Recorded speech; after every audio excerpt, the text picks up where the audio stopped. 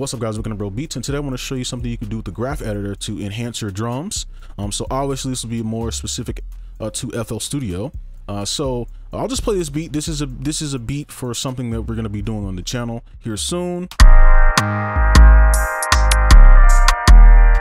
All right, so we'll use the rim for this because I think it's a more versatile sound. Uh, so if we click up here for the graph editor, we'll have this menu. Now, a lot of you already know about this menu. You already know what it does. Um, you have your pitch. Like you already have that. We already know about that, right? Um, you have your velocity. Okay, and I doubt most people actually use this as often. Usually I just use the velocity okay? And we're gonna go through all of these because there's some really cool ones that i want to show you. So this video won't be long obviously. Um and then you have your release velocity. Now this just depends on the sound. We don't really need to go over that because you can't really utilize it that much. But then you also have your fine pitch. Um, now if you just want to put some cool like uh, different sounds in there uh, or iterations of the sound that you have in terms of pitch you can do that. Now if you want to reset this hold alt and just click and drag, and then you can reset it to zero. Of course, panning, right? We all know about panning. Of course, we know about that. Um, so now we're gonna get into the ones that most of you probably don't use, which good these could actually kind of help you. Now the first one is Mod X. Now what this is going to do is pretty much just be an EQ, so it's gonna be a filter cutoff. Now most of the time it won't work when you pull it all the way up this way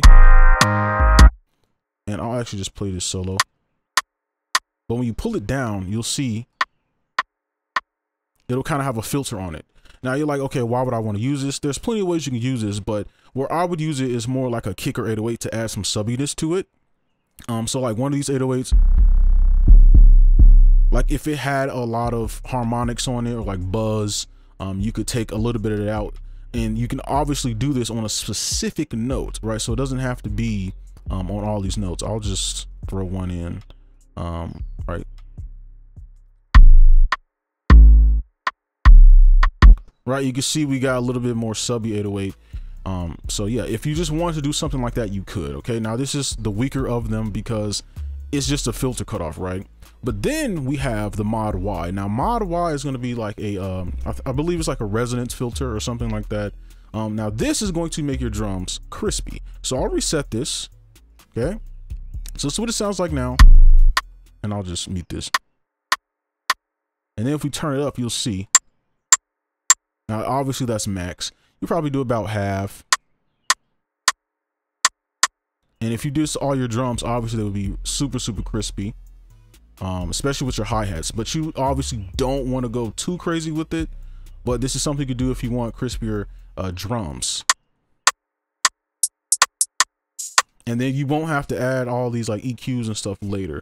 Um, so this is a quick little shortcut you can use. Um, you can access all this in the sampler as well, so no worries there. Okay, so now we're on to the ones I've been waiting to get to. Um, I'm gonna just reset these because I don't think they need them. I'll just keep this back to where it was at around there. Um, now obviously that'll make your drums um, pop through the mix a little bit better as well. Okay, so you can utilize those. So now we have my favorite ones. We have shift and repeat. Now they're pretty self-explanatory, but the reason I like shift is because in, FL Studio historically, FL drums kind of sound robotic most of the time. Um, if you're in halftime, you'll kind of be fine, but usually in double time, like 160, 180, uh, your drums will sound more robotic. Doesn't mean they won't have bounce, but they won't have like that that swing or that groove. So you can actually implement this easier this way with shift. Okay.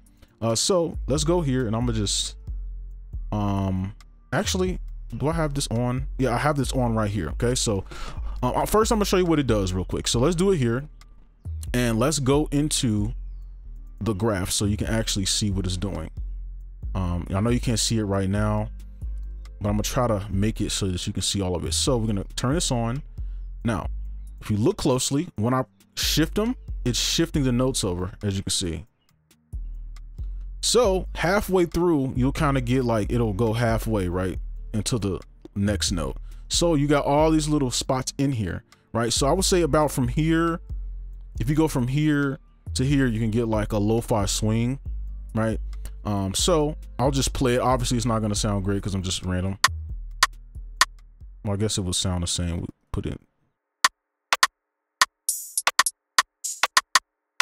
And obviously, it's very off right now. Um, you will use this sparingly, but this is something cool that you can do um, that I think is very helpful, very, very helpful in FL Studio especially. So we can now have more groove in our drums. So let's go back, make sure all this is centered. Um, so with this one, okay, we just moved this one. So this would sound like originally. I guess I could turn all of it on. Right now, when we pull this up, and now you can see we kind of got like that um, nice little uh, swing on our hi-hat that made the in my opinion made the drum sound way better um, has way more bounce just because of this one little note here okay? Now lastly this is the easy one repeat. So this is going to be like automatic chops. So if you look in the corner up here right here you'll see that we have uh, like it'll show you the different type of chops. So I'll show you right So you can kind of utilize these as well. So if you just want a few little chops in there, you can. Um, right, and realistically, I'll probably use the one right here. Like if I was actually going to use this, right? So um, these are the chops. Again, this is going to be a shorter video. That's all I really wanted to show you because I thought this was really helpful um, when I started using these um, in my drums. Um, it's a lot quicker rather than you can still go in here and do stuff, but sometimes it's kind of annoying and maybe you don't want to do that. It's a lot easier just to go here and just click in the button, right? So that's it for this video. Hopefully you enjoyed. Make sure you like, comment, subscribe if you're new, and I'll see you guys in the next one. Peace.